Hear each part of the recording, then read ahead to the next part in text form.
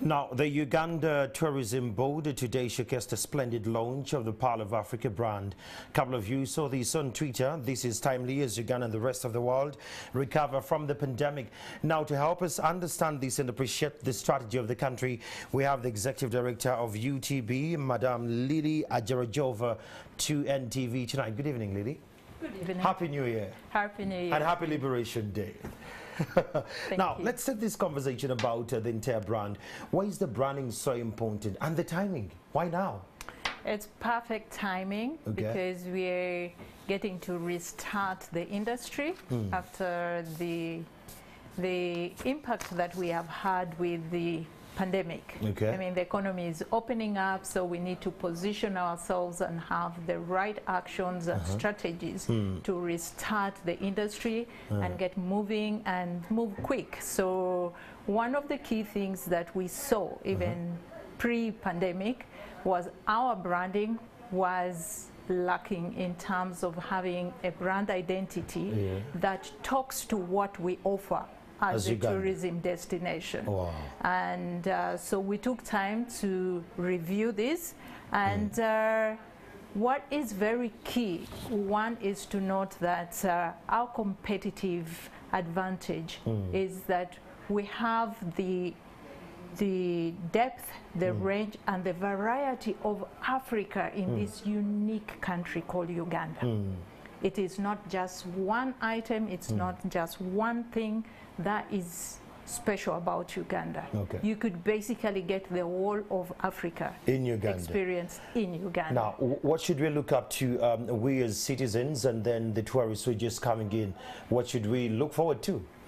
Well, first, the, the, the product offering mm-hmm. remains in mm. terms of the, the diversity that we have mm. from wildlife to culture mm. to the history mm. and the lots more that we have to offer. Mm. But very important to note is that uh, with this new brand, mm-hmm. uh, Explore Uganda, the Pearl of Africa, the campaign that we are starting with right now is for the domestic market, for the Ugandan market. We have the big idea for the domestic market, hmm. which is uniquely ours. Okay. We want every Ugandan to be well informed through this campaign hmm. that we are starting now to roll out the campaign, hmm. uh, the brand, to understand actually what we have as a country and also encourage every Ugandan to explore their own country before we actually go to the international campaign. That makes a lot of sense.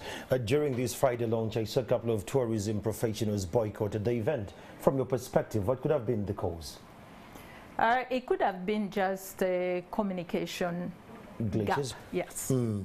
Now, is there truth to the reports that we have seen that um, you have ignored the concerns of the practitioners, such as the mace in clearing the tourists um, for the entry into Uganda, such as the double or the triple testing of COVID-19, among other concerns? Say that again. The concerns. Um, there are reports that your board has ignored the request of some practitioners that is messing up the tourists to get into the country, such as the double testing of COVID-19, where they're coming from. Again, they test here, then they have to test again when they're going in the parks.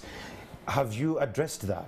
I think that has been well addressed. Mm-hmm. That has been well addressed. The biggest concern that, that the operators had, the mm. private sector had, mm. was about the whole process of how everything was happening at the airport. Yeah, yeah. And right now it is seamless for everyone, especially for the tourists, mm. because we have categorized the different booths for different categories of people. And I Okay. can, I, I can 100% say that has been solved. Okay, so what is our call to action as citizens now that this brand is here and uh, you launched it and it's so much more about the Ugandans first embracing it? So, right there in the camera, what could you tell the citizens? What's our call to action? Do we have to travel every now and again? And what is in for us as citizens? What is important for every Ugandan with the brand Explore Uganda, the Pearl of Africa, is first of all to get to share what you feel is unique about what you have just mm. around you. Mm. What is it on day-to-day basis that you really enjoy, mm. you know, which is very Ugandan? You know, the food, the weather, whatever is around you. We want you to help us to share it with the rest of Ugandans. Because somebody in Kisoro, somebody in Adjumani, in Moroto, you mm-hmm. know, the experiences are all different from the culture, from the weather, from everything around us. Mm. So would like to encourage every Ugandan to share mm. that which you feel is very unique mm. you know, about your own place, about your own culture, and your own experience about Uganda.